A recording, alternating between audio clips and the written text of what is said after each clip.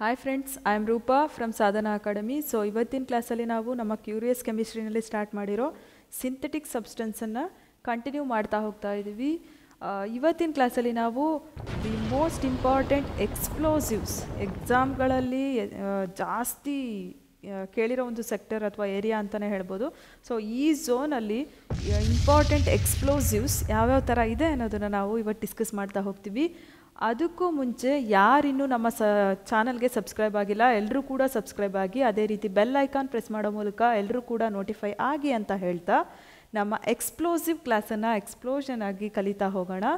So, ಈ ಒಂದು explosives ಅಂದರೆ ಏನು? ಸ್ಫೋಟಕಗಳು. ಸ್ಫೋಟಕಗಳು ಅಂದ ತಕ್ಷಣವೇ ನಮಗೆ ಗೊತ್ತಾಗ್ತಾ ಇದೆ, ಅಲ್ಲಿ ಒಂದು ಎನರ್ಜಿ ಇದೆ.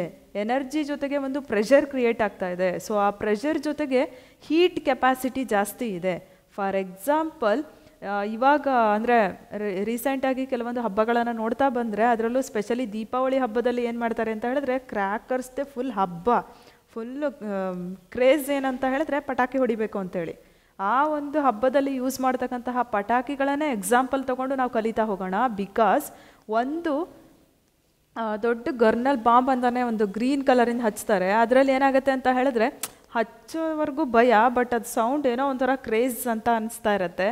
ಅಲ್ಲೇನಾಗುತ್ತೆ? ಅದನ್ನು ನಾವು ಆನ್ ಮಾಡಿದಾಗ, ಅದನ್ನು ಹಚ್ಚಿದಾಗ ಏನಾಗುತ್ತೆ ಅಂತ ಹೇಳಿದ್ರೆ, ಒಂದು ಏನಾಗುತ್ತೆ? ಸೌಂಡ್ ಬರುತ್ತೆ, ಗೊತ್ತು. ನೆಕ್ಸ್ಟು ಶಾಖ ಬಿಡುಗಡೆ ಆಗುತ್ತೆ ಹೀಟ್ ಬಿಡುಗಡೆ ಆಗುತ್ತೆ. ಸೊ ಆ ಸೌಂಡ್ ಬರಬೇಕು, ಶಾಖ ಬರಬೇಕು, ಅಲ್ಲೇನೋ ಒಂದು ಬೆಳಕು ಬರಬೇಕು ಅಂತ ಹೇಳಿದ್ರೆ, ಅಲ್ಲಿ ಒಂದು ಪ್ರೆಷರ್ ಕ್ರಿಯೇಟ್ ಆಗಬೇಕು.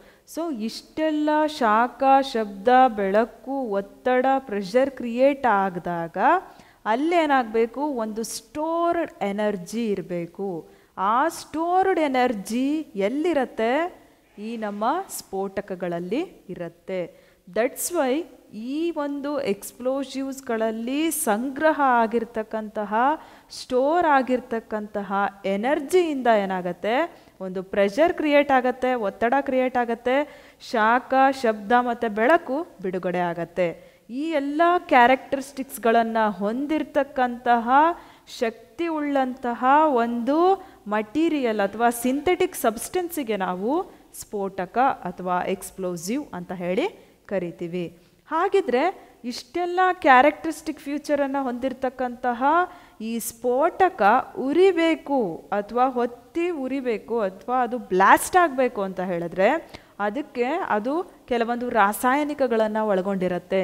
ಯಾವುದು ಆ ರಾಸಾಯನಿಕ ಅಥವಾ ಯಾವುದು ಆ ಇಂಪಾರ್ಟೆಂಟ್ ಕೆಮಿಕಲ್ ಅಂತ ನೋಡೋದಾದರೆ ನಾವು ಅತ್ಯಂತ ಪ್ಯೂರೆಸ್ಟ್ ಕೆಮಿಕಲ್ ಸಬ್ಸ್ಟೆನ್ಸ್ ಪ್ರೆಸೆಂಟ್ ಇರುತ್ತೆ.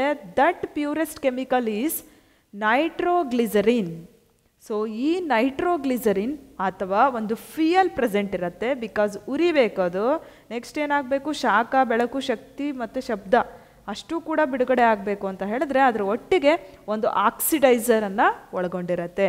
ಬಟ್ ಮೇನ್ ಇಂಪಾರ್ಟೆಂಟ್ ಎಕ್ಸ್ಪ್ಲೋಷನ್ ಆಗೋದಕ್ಕೆ ಕಾರಣ ಆಗಿರ್ತಕ್ಕಂತಹ ಕೆಮಿಕಲ್ ಸಬ್ಸ್ಟೆನ್ಸೀಸ್ ನೈಟ್ರೋಗ್ಲಿಸರಿನ್ ಅಂತ ಹೇಳಿ ಹೇಳ್ಬೋದು. ನೆನ್ಪಿಟ್ಕೋಬೇಕು ಕೂಡ. ನಾವು ಈ ಚಿತ್ರ ನೋಡಿದ್ರೆ ನಾವೇನು ಎಕ್ಸ್ಪ್ಲೇನ್ ಮಾಡೋದೇ ಬೇಡ ಬಿಕಾಸ್ ಡಿಫ್ರೆಂಟ್ ಟೈಪ್ ಆಫ್ ಎಕ್ಸ್ಪ್ಲೋಸಿವ್ಸನ್ನ ನೋಡ್ತಾ ಇದ್ದೀವಿ. ಅದು ಅದೇ ರೀತಿಯಾಗಿ ನೆಕ್ಸ್ಟ್ ನಾವು ನೋಡ್ತಾ ಇದ್ದೀವಿ. Next one T N T trinitrotoluene ನೋಡ್ತಾ ಇದ್ದೀವಿ. ಅದೇ ರೀತಿ ಡಿಫ್ರೆಂಟ್ ಗರ್ನರ್ಸ್ಗಳು ಬಾಂಬ್ಗಳು ಡಿಫ್ರೆಂಟ್ ಎಕ್ಸ್ಪ್ಲೋಸಿವ್ಸ್ಗಳನ್ನು ನಾವು ನೋಡ್ತಾ ಇದ್ದೀವಿ.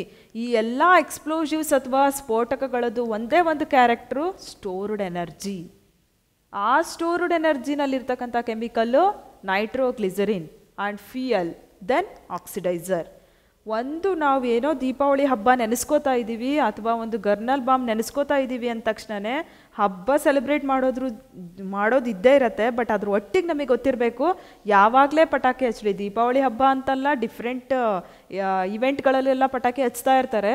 ಎಲ್ಲರೂ ಪಟಾಕಿ ಸೌಂಡ್ ಆಯಿತು ಅಂದರೆ ಹ್ಯಾಸ್ ಎ ಕಾಂಪಿಟೇಟರ್ ನಮಗೆ ಗೊತ್ತಿರಬೇಕು. ಅದರಲ್ಲಿ ನೈಟ್ರೋಗ್ಲಿಸರಿನ್ ಇರುತ್ತೆ ಫಿಯಲ್ ಇರುತ್ತೆ ಆಕ್ಸಿಡೈಸರ್ ಇರುತ್ತೆ ಸ್ಟೋರ್ಡ್ ಎನರ್ಜಿ ಇರೋದ್ರಿಂದ ಬೆಳಕು ಶಾಖ ಶಬ್ದಿ ಶಬ್ದ ಉತ್ಪತ್ತಿ ಆಗತ್ತೆ ಇದ್ರ ಒಟ್ಟಿಗೆ ನೆನ್ಪಿಟ್ಕೊಳ್ಳೇಬೇಕು. ಆ ಎಕ್ಸ್ಪ್ಲೋಷನ್ ಆಯಿತು, ಸ್ಟೋರ್ಡ್ ಎನರ್ಜಿ ಇತ್ತು ಅದರಲ್ಲಿ, ನೈಟ್ರೋಗ್ಲಿಸರಿನ್, ಫ್ಯೂಯಲ್ ಆಕ್ಸಿಡೈಸರ್ ಇತ್ತು. ನೆಕ್ಸ್ಟ್ ಏನಾಗುತ್ತೆ? ಒಂಥರ ಓಡರ್ಲೆಸ್ ಪ್ಲೆಸೆಂಟ್ ಸ್ಮೆಲ್ ಬರ್ತಾ ಇರತ್ತೆ. ಅಹಿತಕರ ವಾಸನೆ ಅಂತ ಹೇಳಿ ಕರಿತೀವಿ ನಾವು ಕನ್ನಡನಲ್ಲಿ. ಸೊ, ಆ ಒಂದು ಓಡರ್ಲೆಸ್ ಪ್ಲೆಸೆಂಟ್ ಸ್ಮೆಲ್ ಬರೋದಕ್ಕೆ ಕಾರಣ ಆಗಿರೋದು one of the important allotrope, ಬಹುರೂಪ ಯಾವುದು ಅಂತ ಹೇಳಿದ್ರೆ ಸಲ್ಫರ್ ಇನ್ ಕನ್ನಡ ಗಂಧಕ ಅಂತ ಹೇಳಿ ನಾವು ಹೇಳ್ತೀವಿ. ಇಷ್ಟು ಕೂಡ ಒಂದು ಪಟಾಕಿಯನ್ನು, ಒಂದು ಗರ್ನಲನ್ನು, ಒಂದು ಎಕ್ಸ್ಪ್ಲೋಸಿವ್ನ ನೆನ್ಪಿಟ್ ಹಚ್ಚಿದಾಗ ಯಾರೋ ಒಬ್ಬರು ಯೂಸ್ ಮಾಡಿದಾಗ ಆ್ಯಸ್ ಎ ಕಾಂಪಿಟೇಟರ್ ನಮಗಿಷ್ಟು ಕೂಡ ಅದು ನೆನಪಿಗೆ ಬರಬೇಕು. Nitroglycerin fuel oxidiser stored energy ಅಂಥೇಳಿ ಹಾಗಿದ್ರೆ ಇಷ್ಟೆಲ್ಲ ವೇರಿಯಸ್ ಕ್ಯಾರೆಕ್ಟರಿಸ್ಟಿಕ್ಸ್ಗಳನ್ನು ಒಳಗೊಂಡಿರ್ತಕ್ಕಂಥ ಸ್ಫೋಟಕ ಒಂದೇನಾ? ವೇರಿಯಸ್ ಫಾರ್ಮಲ್ಲಿರುತ್ತೆ ಅದರಲ್ಲಿ ಎಕ್ಸ್ಪ್ಲೋಸಿವ್ ಟೈಪ್ಸ್ ಅಂತಲೇ ಕರಿತೀವಿ, ಸ್ಫೋಟಕದ ವಿಧಗಳು, ಪ್ರಾಥಮಿಕ, ದ್ವಿತೀಯ, ತೃತೀಯ ಪ್ರೈಮರಿ ಸೆಕೆಂಡರಿ ಮತ್ತು ಟರ್ಷರಿ ಅಂತ ಹೇಳಿ ಕರಿತೀವಿ. ಇದನ್ನು ನೆನಪಿಸ್ಕೊಂಡಾಗ ನಾವು ಸ್ವಲ್ಪ ಬಯೋ ಕ್ಲಾಸ್ ಕೂಡ ನೆನಪಿಸ್ಕೋಬೇಕು ಫ್ರೆಂಡ್ಸ್ ಯಾಕಂದರೆ ಅಲ್ಲಿ ಡಿಸ್ಕಸ್ ಮಾಡಿದ್ವಿ ನಾವು ಪ್ರೈಮರಿ ಸೆಕೆಂಡರಿ ಟರ್ಷಿಯರಿ ನ್ಯೂಟ್ರಿಯೆಂಟ್ಸ್ ಅಂತ ಹೇಳಿ. ಅದರಲ್ಲಿ ಡಿಫ್ರೆಂಟ್ ಕಾನ್ಸೆಪ್ಟ್ ಬರುತ್ತೆ. ಬಟ್ ನಾವು ಕೋರಿಲೇಷನ್ ಮಾಡಿ ಓದ್ಕೊಂಡಾಗ ಈಸಿಯಾಗಿ ನೆನ್ಪಿಟ್ಕೋಬೋದು. ಇದರಲ್ಲಿ ಪ್ರಾಥಮಿಕ ಸ್ಫೋಟಕ ಅಥವಾ ಪ್ರೈಮರಿ ಎಕ್ಸ್ಪ್ಲೋಸಿವ್ಸ್ ಯಾವುದು, ಅದರ ಕ್ಯಾರೆಕ್ಟರ್ ಏನು ಅಂತ ನೋಡೋದಾದರೆ ಪ್ರೈಮರಿ ಪ್ರೈಮರಿ ಅಂತ ಹೇಳಿದ್ರೆ ಇವಾಗ ಒಂಥರ ಫಸ್ಟ್ ರ್ಯಾಂಕ್ ಇದ್ದಂಗಿದು. ಅಂದರೆ ಎಕ್ಸ್ಪ್ಲೋಸಿವ್ಸಿಗೆ ಆ್ಯಸ್ ಕಂಪೇರ್ ಟು ಎಕ್ಸ್ಪ್ಲೋಸಿವ್ಸ್ ಇದರಲ್ಲಿ ಅತಿ ಹೆಚ್ಚು ತೀಕ್ಷ್ಣತೆಯನ್ನು ಒಳಗೊಂಡಿರುತ್ತೆ ಇದು. ಬಿಕಾಸ್ ಇದರಲ್ಲಿ ಸ್ಟೋರ್ಡ್ ಎನರ್ಜಿ ಹೈ ಲೆವೆಲಲ್ಲಿರುತ್ತೆ ನೆಕ್ಸ್ಟು ಲೈಟ್ ಲೈಟ್ನಿಂಗ್ ಕೆಪಾಸಿಟಿ ಮತ್ತು ಎನರ್ಜಿ ಅದರಿಂದ ಬರ್ತಕ್ಕಂಥ ಸೌಂಡ್ ಶಬ್ದ ಅತಿ ಹೆಚ್ಚಾಗಿರುತ್ತೆ. ಬಿಕಾಸ್ ಇದು ಅತಿ ಹೆಚ್ಚಿನ ಕ್ರಿಯಾಶೀಲತೆ ಉಳ್ಳಂಥದ್ದು ಮತ್ತು ಹೈಲಿ ರಿಯಾಕ್ಟಿವ್ ಸ್ಫೋಟಕ ಅಥವಾ ಹೈಲಿ ರಿಯಾಕ್ಟಿವ್ ಎಕ್ಸ್ಪ್ಲೋಸಿವ್ ಅಂತಲೇ ಕರಿತೀವಿ. ಹಾಗಿದ್ರೆ ಆ ಹೈಲಿ ಎಕ್ಸ್ಪ್ಲೋಸಿವ್ ರಿಯಾಕ್ಟಿವ್ಸ್ ಯಾವ್ಯಾವುದು? Acetone peroxide azoclathrates ammonium permanganate. So ಇಲ್ಲಿ ತ್ರೀ ಎ ಅಂತ ನೆನ್ಪಿಟ್ಕೋಬೋದು. Because acetone peroxide starting letter A ಅಜೋಕ್ಲಾ clathrates starting letter is A ammonium permanganate starting letter is A ಇನ್ನೂ ಈಸಿಯಾಗಿ ನೆನ್ಪಿಟ್ಕೋಬೇಕು ಅಂದರೆ three A P because one A is acetone peroxide another A is azoclathrates another name is ammonium permanganate ಅದಕ್ಕೆ ಬೇಕಿದ್ರೆ A P ಅಂತ ನೆನ್ಪಿಟ್ಕೋಬೋದು. Three A P these are the primary explosives what about other two ಅಂತ ನೋಡೋದಾದರೆ second one is secondary explosive ದ್ವಿತೀಯ ಸ್ಫೋಟಕ. ಇದು ಅತಿ ಕಡಿಮೆ ತೀಕ್ಷ್ಣತೆಯನ್ನು ಹೊಂದಿರುತ್ತೆ, ಆರಂಭಕ್ಕೆ ಶಕ್ತಿಯ ಅವಶ್ಯಕತೆ ಇದೆ. ನಾವು ಅಲ್ಲಿ ಪ್ರೈಮರಿ ಎಕ್ಸ್ಪ್ಲೋಸಿವ್ಸಲ್ಲಿ ಯಾರದೇ ಹೆಲ್ಪ್ ಇಲ್ಲದೆ ನಾವೇನಾಗ್ತಿತ್ತು ತ್ರೀ ಎ ಪಿ ಉರಿದೋಗ್ತಾ ಇತ್ತು ಅಥವಾ ಎಕ್ಸ್ಪ್ಲೋಷನ್ ಸ್ಫೋಟ್ ಸ್ಫೋಟ ಆಗಿ ಹೋಗ್ತಿತ್ತು ಬಟ್ ನಮ್ಮ ದ್ವಿತೀಯ ಸ್ಫೋಟಕಗಳಲ್ಲಿ ಸ್ವಲ್ಪ ಎನರ್ಜಿ ಕಡಿಮೆ ಇರುತ್ತೆ. ದಟ್ಸ್ ವೈ ಇನ್ನೊಬ್ಬರು ಬಂದು ಸ್ಟಿಮ್ಯುಲೇಟ್ ಮಾಡಬೇಕು. ಅದಕ್ಕೆ ನಾವು ಯಾವುದೇ ವ್ಯಕ್ತಿಯ ಸಹಾಯ ಬೇಡ. ಅಲ್ಲಿ ಎನರ್ಜಿಯ ಸಹಾಯ ಬೇಕಾಗಿರುತ್ತೆ. ಯಾವುದಕ್ಕೆ?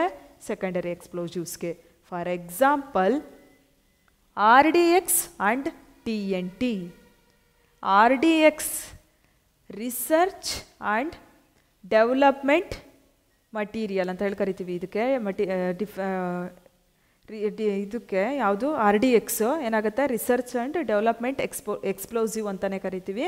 Next T N T trinitrotoluene so ಇದು, ಇದೆರಡರ ಬಗ್ಗೆ ನಾವು ಇನ್ ಡೀಟೇಲಾಗಿ ನೆಕ್ಸ್ಟ್ ಮಾತಾಡ್ತಾ ಹೋಗ್ತೀವಿ ಇದೇ ಕ್ಲಾಸಲ್ಲಿ ಬಟ್ ಅದರ ಒಂದು ಲಾಂಗ್ ಫಾರ್ಮನ್ನು ಕೇಳ್ತಾ ಇರ್ತಾರೆ. ಟಿ ಎನ್ ಟಿ ಪಕ್ಕ ಕೇಳಿದ್ದಾರೆ ಕೇಳ್ತಾರೆ ಕೂಡ trinitrotoluene ನೆನ್ಪಿಟ್ಕೋಬೇಕು. These two are the example for R D X T N T are example for secondary explosives next tertiary explosives ತೃತೀಯ ಸ್ಫೋಟಕಗಳು.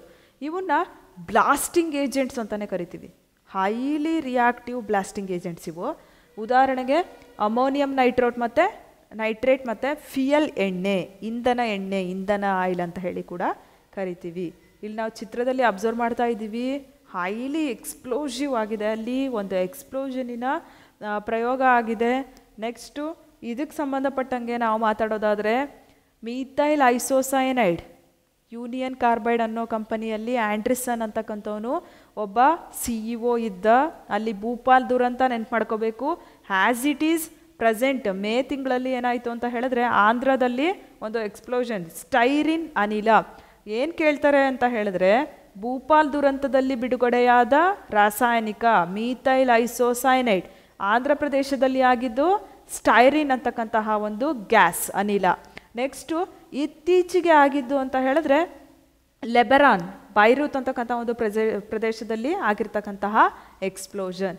As a competitor day to day ಲೈಫಲ್ಲಿ ಯಾವ ಯಾವ chemicals, ಯಾವ ಯಾವ ಕ್ಷೇತ್ರದಲ್ಲಿ ಯೂಸ್ ಆಗ್ತಾ ಇದೆ ಮತ್ತು ಅದರ ಡಿಸ್ಅಡ್ವಾಂಟೇಜಸ್ ಏನು ಅನ್ನೋದನ್ನು ಪಕ್ಕಾ ನೆನ್ಪಿಟ್ಕೊಳ್ಳೇಬೇಕು. ಅಂದರೆ ಈಗೇನೋ ಒಂದು ಇನ್ಸಿಡೆಂಟ್ ಆಗಿದೆ ಅಂದರೆ ನಮಗೆ ನೆನಪಿಗೆ ಬರಬೇಕು. ಭೂಪಾಲ್ ದುರಂತ ಆಂಧ್ರ ಪ್ರದೇಶದಲ್ಲಾಗಿದ್ದು, ಮತ್ತು ಲಿಬ್ರಾನ್ನ ಬಾ, ಬೈರುತ್ ಪ್ರದೇಶದಲ್ಲಿ ಆಗಿರ್ತಕ್ಕಂಥದ್ದು, ಮತ್ತು ಅಲ್ಲಿ ಮೀಥಲೈಸೋಸೈನೈಡು, ನೆಕ್ಸ್ಟು ಆಂಧ್ರ ಪ್ರದೇಶದಲ್ಲಿ ಸ್ಟೈರಿನ್ ಗ್ಯಾಸ್. ಸೊ ಇಷ್ಟು ಕೂಡ ನಮಗೆ ಕಣ್ಮುಂದೆ ಬಂದು ಹೋಗಬೇಕು ಮತ್ತು ಅದನ್ನು ರೀಕಾಲ್ ಮಾಡಬೇಕು. ಕೋರಿಲೇಷನ್ ಅದಕ್ಕೇನು, ಇದಕ್ಕೇನು, ಅದು ಕೋರಿಲೇಷನ್ ನಮಗೆ ಗೊತ್ತಿರಬೇಕು. ನೆಕ್ಸ್ಟು ನಾ ಹೇಳಿದೆ ಆರ್ ಡಿ ಎಕ್ಸ್ ಮತ್ತು T N T highly explosive ಅಂತ ಹೇಳಿ. ಸೊ ಈ ಆರ್ ಡಿ ಎಕ್ಸ್ ಅಂತ ಹೇಳಿದ್ರೆ ರಿಸರ್ಚ್ ಆ್ಯಂಡ್ ಡೆವಲಪ್ಮೆಂಟ್ ಎಕ್ಸ್ಪ್ಲೋಸಿವ್ ಅಂತ ಹೇಳಿ ಕರಿತೀವಿ. ಇದರ ಒಂದು ಕೆಮಿಕಲ್ ನೇಮ್ ಕೇಳ್ತಾರೆ. ಟಿ ಎನ್ ಟಿದು ಜನರಲ್ ಆಗಿ ಟ್ರೈನೈಟ್ರೋಟಾಲಿನು ಆ್ಯಸ್ ಎ ಕಾಂಪಿಟೇಟರ್ ಗೊತ್ತು ನಮಗೆ already ಓದ್ಕೊಂಡಿರ್ತೀವಿ. Research and development explosive R D X ಗೊತ್ತು. ಬಟ್ ಇದರ ಒಂದು ಕೆಮಿಕಲ್ ನೇಮ್ ಚೇಂಜ್ ಇರುತ್ತೆ. That chemical name is cyclo trimethylene tri nitramine cyclo tri methylene ಹಿಂಗೆ ನೆನ್ಪಿಟ್ಕೋಬೇಕು. ಟ್ರೈ ನೈಟ್ರಮೈನ್ ಟ್ರೈ ನೈಟ್ರಮೈನ್ ನೆನಪಿರತ್ತೆ ಬಟ್ ಇಲ್ಲಿ ಸ್ವಲ್ಪ ಅದನ್ನು ಸ್ಪ್ಲಿಟ್ ಮಾಡ್ಕೋಬೇಕು. Cyclo tri methylene tri nitramine ಅಂತ ಹೇಳಿ ನೆನ್ಪಿಟ್ಕೋಬೋದು. ಈ ಒಂದು R D ಎಕ್ಸನ್ನು in the year of eighteen ninety nine Henning ಅಂತಕ್ಕಂತಹ ಒಬ್ಬ ಸೈಂಟಿಸ್ಟು ಫಸ್ಟ್ ಟೈಮ್ ರಿಸರ್ಚ್ ಮೂಲಕ ಫೈಂಡ್ ಔಟ್ ಮಾಡ್ತಾರೆ. So the next one is ಚಿತ್ರದಲ್ಲಿ ನೋಡ್ತಾ ಇದ್ದೀವಿ, ಗೊತ್ತಾಗಿದೆ ಅನ್ಕೋತೀನಿ. ಬೆಂಜಿನ್ ರಿಂಗಿಗೆ ತ್ರೀ ಎನ್ ಓ ಟುಗಳು ಅಟ್ಯಾಚ್ ಆಗಿದೆ, ಮೇಲ್ಗಡೆ ಸಿ ಎಸ್ ತ್ರೀ ಗ್ರೂಪ್ ಇದೆ. ಆ ಕಡೆ ಅದ್ರ ಚಿತ್ರ ಇದೆ. ಯಾವುದು ಅಂತ ಹೇಳಿದ್ರೆ T N T trinitrotoluene ಟ್ರೈ ನೈಟ್ರೋ ಟಾಲಿನಲ್ಲಿ ಏನಾಗುತ್ತೆ ಅಂತ ಹೇಳಿದ್ರೆ, ಇದು ಹಳದಿ ಬಣ್ಣದ ಒಂದು ಸ್ಫೋಟಕ ಅಂತ ಹೇಳಿ ಕರಿತೀವಿ. ಅದರ ಒಂದು ಕೆಮಿಕಲ್ ಸ್ಟ್ರಕ್ಚರ್ ಈ ರೀತಿ ಇದೆ. ಎನ್ ಓ ಟು ಗ್ರೂಪು ಮೂರು ಕಡೆ ಅಟ್ಯಾಚ್ ಆಗಿದೆ. ಮೇಲ್ಗಡೆ ಫಿನಾಲಿಕ್ ಗ್ರೂಪ್ ಅಟ್ಯಾಚ್ ಆಗೋ ಕಡೆ ಮೇಲ್ಗಡೆ ಒನ್ನಲ್ಲಿ ಏನಾಗಿದೆ ಅಂತ ಹೇಳಿದ್ರೆ C H three group add ಆಗಿದೆ. ಅದು ಒಂದು ಇಮೇಜ್ ನೋಡಿದ್ರೆ, ಆ ಸೈಡ್ ಇರೋ ಇಮೇಜ್ ನೋಡಿದ್ರೆ ಗೊತ್ತಾಗ್ತಿದೆ, ಎಷ್ಟು ಹೈಲಿ ರಿಯಾಕ್ಟಿವ್ ಎಕ್ಸ್ಪ್ಲೋಸಿವ್ ಅದು ಅಂತ ಹೇಳಿ. This is the T N T this is all about explosives so the next one important concept rubber ಈ ರಬ್ಬರ್ಗಳನ್ನು ನೈಸರ್ಗಿಕ ರಬ್ಬರ್ಗಳನ್ನು ಎಲೆಸ್ಟೋಮರ್ಸ್ ಅಂತೇಳಿ ಕರಿತೀವಿ. ಬಿಕಾಸ್ ಆ ಒಂದು ಎಲಾಸ್ಟಿಸಿಟಿ ಕೆಪಾಸಿಟಿ ಎಲೆಸ್ಟೋಮರ್ಸ್ ಅಂತ ಯಾಕೆ ಕರಿತೀವಿ ಅಂತ ಹೇಳಿದ್ರೆ, ಹಾಂ, ಇಲ್ಲಿ ಅಬ್ಸರ್ವ್ ಮಾಡ್ಬೋದು ಇಮೇಜಲ್ಲಿ ಆ ರಬ್ಬರ್ನ ಮರದಲ್ಲಿ ಏನು ಮಾಡ್ತಾರೆ, ಸಣ್ಣಕ್ಕೆ ಒಂದು ಕಚ್ತಾರ ಅಥವಾ ಒಂದು ಸ ಭಾಗವನ್ನು ಪೀಲ್ ಮಾಡಿ ತೆಗೆದು ನೆಕ್ಸ್ಟ್ ಏನು ಮಾಡ್ತಾರೆ, ಒಂದು ಬೌಲ್ ಅಥವಾ ಒಂದು ಕವರನ್ನು ಕಟ್ಟಿಡ್ತಾರೆ ಬಿಕಾಸ್ ರಬ್ಬರ್ ಅಂದರೆ ರಬ್ಬರ್ ಮರ ಕರ್, ಕಡ್ಕೊಂಬಂದು ನಾವು ಎರೈಸರ್ ಮಾಡ್ಕೋತೀವಿ ರಬ್ಬರ್ ತಯಾರಿಸ್ಕೋತೀವಿ ರಬ್ಬರ್ ಬ್ಯಾಂಡ್ ತಯಾರಿಸ್ಕೋತೀವಿ ಅಂದರೆ ಆಗಲ್ಲ ಫ್ರೆಂಡ್ಸ್ ಬಿಕಾಸ್ ಆ ರಬ್ಬರ್ನ ಮರದಿಂದ ಬರ್ತಕ್ಕಂತಹ ಲೆಟೆಕ್ಸ್ ಹಾಲು, ಹಾಲನ್ನು ಸಂಗ್ರಹ ಮಾಡ್ಕೋತಾರೆ. ಆ ಹಾಲನ್ನು ಸಂಗ್ರಹ ಮಾಡಿಕೊಂಡು ನೆಕ್ಸ್ಟ್ ಏನು ಮಾಡ್ತಾರೆ ಅಂತ ಹೇಳಿದ್ರೆ, ಆ ಒಂದು ರಬ್ಬರ್ನ ವಲ್ಕನೈಸೇಷನ್ ಪ್ರೊಸೆಸ್ಸಿಗೆ ವಲ್ಕನೀಕರಣದ ಕ್ರಿಯೆಗೆ ಒಳಪಡಿಸ್ತಾರೆ. ಏನು ವಲ್ಕನೀಕರಣ ಏನು ಪ್ರೊಸೆಸ್ ನೆಕ್ಸ್ಟ್ ಮಾತಾಡೋಣ. ಈ ರಬ್ಬರನ್ನು ಆರ್ಟಿಫಿಷಿಯಲ್ ಆಗಿ ತಯಾರು ಮಾಡ್ತಾರೆ. ರಬ್ಬರ್ ಲೇಟೆಕ್ಸ್ ಯೂಸ್ ಮಾಡಿ. ಹಿಂಗೆ ಆರ್ಟಿಫಿಷಿಯಲ್ ಆಗಿ ತಯಾರು ಮಾಡಿರೋ ರಬ್ಬರನ್ನು ವಾಹನಗಳಲ್ಲಿ ವೆಹಿಕಲ್ಗಳಲ್ಲಿ ಸ್ಪೆಷಲಿ ಬಸ್ ಲಾರಿ ಮತ್ತು ವಿಮಾನದ ಗಾಲಿಗಳಲ್ಲಿ ಈ ಸಿಂಥೆಟಿಕ್ ರಬ್ಬರನ್ನ ಬಳಸ್ತಾರೆ. Neoprene neoprene one of the important synthetic rubber ಅಂತಲೇ ಕರಿತೀವಿ. ತಂತಿಗಳ ಒಂದು ಹೊದಿಕೆನಲ್ಲಿ, ಅಂದರೆ ಈ ಎಲೆಕ್ಟ್ರಿಸಿಟಿ ವೈರ್ಗಳ ಕೋಟಿಂಗ್ಗಳಲ್ಲಿ ಏನು ಮಾಡ್ತಾರೆ? ನಿಯೋಪ್ರಿನ್ ರಬ್ಬರನ್ನು ಯೂಸ್ ಮಾಡ್ತಾರೆ ತಂತಿಗಳ ಒಂದು ಕೋಟಿಂಗಲ್ಲಿ ಸೊ ಇಲ್ಲಿ ನೋಡ್ತಾ ಇದ್ದೀವಿ ನಾವು ವಾಹನಗಳ ವೆಹಿಕಲ್ಗಳಲ್ಲಿ ಮತ್ತು ಸಿಂಥೆಟಿಕ್ ಮಟೀರಿಯಲ್ ಆಗಿ ಯೂಸ್ ಮಾಡ್ತಾರೆ. ನಿಯೋಪ್ರಿನ್ನ ಕೆಮಿಕಲ್ ಸ್ಟ್ರಕ್ಚರು ಈ ರೀತಿಯಾಗಿ ಇರುತ್ತೆ. ನೆಕ್ಸ್ಟ್ ರಬ್ಬರ್ನ ವಲ್ಕನೀಕರಣ. In the year of eighteen thirty nine Charles Goodyear vulcanization ಬಗ್ಗೆ ನಾವು ಎಲ್ಲಿ ಮಾತಾಡಿದ್ದೀವಿ? ಗಂಧಕ, ಸಲ್ಫರ್, ಅಲ್ಲೋಟ್ರೋಪ್ ಕಾನ್ಸೆಪ್ಟ್ ಮಾತಾಡಬೇಕಾದ್ರೆ ನಮ್ಮ ಕ್ಯೂರಿಯಸ್ ಕೆಮಿಸ್ಟ್ರಿನಲ್ಲೇ ಅಲ್ಲೋಟ್ರೋಪ್ ಅನ್ನೋ ಟಾಪಿಕಲ್ಲಿ ಬಹುರೂಪದಲ್ಲಿ ಗಂಧಕದ ಬಗ್ಗೆ ಮಾತಾಡ್ಬೇಕಾದ್ರೆ ಮಾತಾಡಿದ್ದೀವಿ in the year of eighteen thirty nine Charles Goodyear ಅಂತಕ್ಕಂತಹ ಒಬ್ಬ ವಿಜ್ಞಾನಿ ಏನು ಮಾಡ್ತಾನೆ? ಆ ರಬ್ಬರ್ ಲೇಟೆಕ್ಸ್ ರಬ್ಬರ್ನ ಹಾಲನ್ನು ಏನು ಸಂಗ್ರಹ ಮಾಡಿ ಇಟ್ಕೋತಾರೆ ರಬ್ಬರ್ ಮರವನ್ನು ಕಟ್ ಮಾಡಿ, ಅದಕ್ಕೆ ಕವರ್ ಅಥವಾ ಬೌಲನ್ನು ಕಟ್ಟಿ, ರಬ್ಬರ್ ಹಾಲನ್ನು ಕಲೆಕ್ಟ್ ಮಾಡ್ಕೋತಾರೆ. ಆ ರಬ್ಬರ್ ಹಾಲನ್ನು ಗಟ್ಟೀಕರಣಗೊಳಿಸೋದಕ್ಕೆ ಯಾವ ಅಲ್ಲೋಟ್ರೋ ಬಹುರೂಪ ಬಳಸ್ತಾರೆ? ಗಂಧಕವನ್ನು ಬೆರೆಸ್ತಾರೆ. ಆ ಗಂಧಕವನ್ನು ಬೆರೆಸಿ ರಬ್ಬರ್ ಹಾಲನ್ನು, ರಬ್ಬರ್ ಲೇಟೆಕ್ಸನ್ನು ಗಟ್ಟೀಕರಣ ಮಾಡೋದಕ್ಕೆ ಗಟ್ಟೀಕರಣ ಮಾಡ್ತಕ್ಕಂತಹ one of the important process ಅಥವಾ ಬಹುಮುಖ್ಯವಾದ ಕ್ರಿಯೆಗೆ ವಲ್ಕನೀಕರಣ. ಇನ್ ಇಂಗ್ಲೀಷ್ ವಲ್ಕನೈಸೇಷನ್ ಅಂತ ಹೇಳಿ ಕರೀತಾರೆ. ಸೊ ಅದನ್ನು ಫಸ್ಟ್ ಟೈಮ್ ಇಂಟ್ರೊಡ್ಯೂಸ್ ಮಾಡಿದ ವಿಜ್ಞಾನಿ ಚಾರ್ಲ್ಸ್ ಕುಡಿಯರ್. ಯಾವುದನ್ನು ಬಳಸ್ತಾರೆ? ಗಂಧಕವನ್ನು ಬಳಸ್ತಾರೆ. ರಬ್ಬರ್ನ ಗದ್ ಗಟ್ಟೀಕರಣದಲ್ಲಿ ಅಥವಾ ರಬ್ಬರ್ನ ಗಡಸುತನ ಮಾಡೋದಕ್ಕೆ. ಬಟ್ ಇತ್ತೀಚಿನ ದಿನಗಳಲ್ಲಿ, ಪ್ರೆಸೆಂಟ್ ಡೇಸಲ್ಲಿ ಕಾರ್ಬನ್ ಬ್ಲ್ಯಾಕನ್ನು ಕೂಡ ಏನು ಮಾಡ್ತಿದ್ದಾರೆ? ಬಳಕೆಯನ್ನು ಮಾಡ್ತಾ ಇದ್ದಾರೆ. ಸೊ, ಈ ಚಿತ್ರದಲ್ಲಿ ನೋಡ್ಬೋದು ನೀವು ಸಿಂಥೆಟಿಕ್, ಸಂಶ್ಲೇಷಿತ rubber.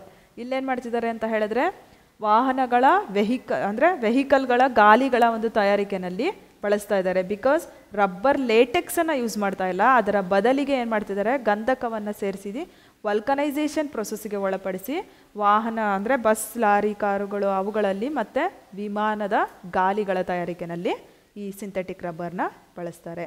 So this is all about rubber then synthetic substance ಯಾವ ಯಾವ ಫೀಲ್ಡಲ್ಲಿ ಯೂಸ್ ಆಗ್ತಿದೆ ಅನ್ನೋದನ್ನು ಇನ್ ಡೀಟೇಲ್ ಆಗಿ ನಾವು ಡಿಸ್ಕಸ್ ಮಾಡಿದ್ದೀವಿ thank you so much for watching this video